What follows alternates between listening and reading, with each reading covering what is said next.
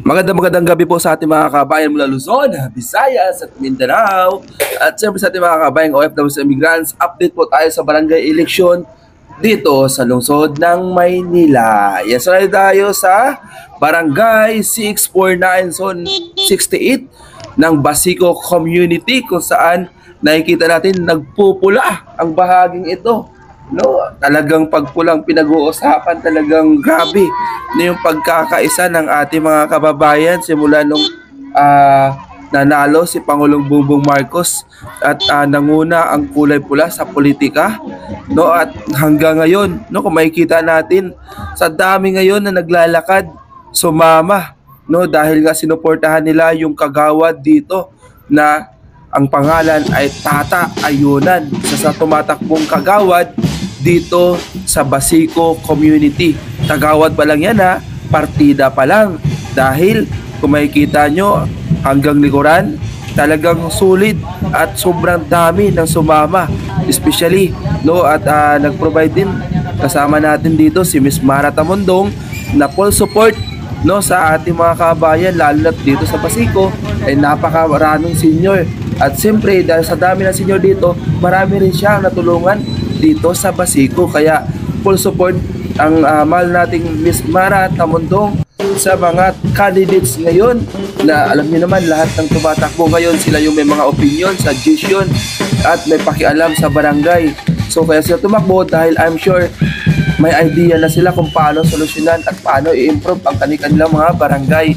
Kaya tara, samahan nyo kami mga kabayan, magpatugtog tayo paikot ng Basiko. At siyempre, don't forget to like, comments, and subscribe or follow sa ating Facebook and YouTube feeds.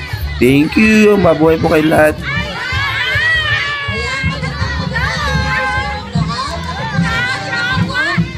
Tandaan natin mga kababayan, maging mapanuri at mapagmasid.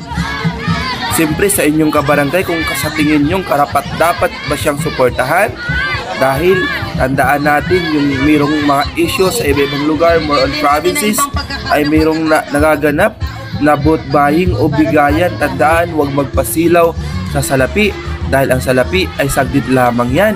Pero ang paglilingkod, ang pag-upo nila sa barangay at pa- ang pakinabang nila sa barangay ay talagang tatagal at tatagal ng ilang taon. Tandaan, mag-ingat at mapanuri kung dapat ba karapat dapat ba siyang umupo sa inyong barangay kung talagang mapapakinabangan ba siya ng inyong barangay or makikinabang lang siya. So tandaan, mag-ingat vote wisely sa ating mga kababayan. No, huwag magpatinag, ipaglaban ang kinabukasan.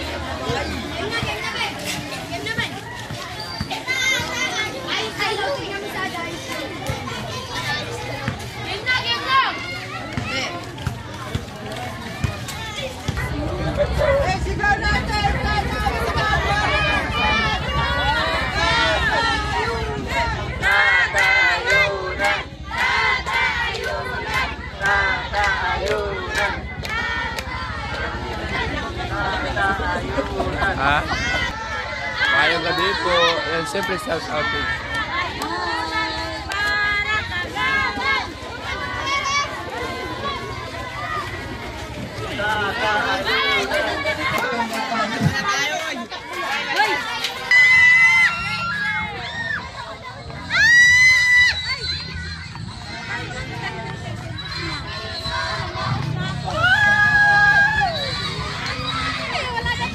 lograste hoy.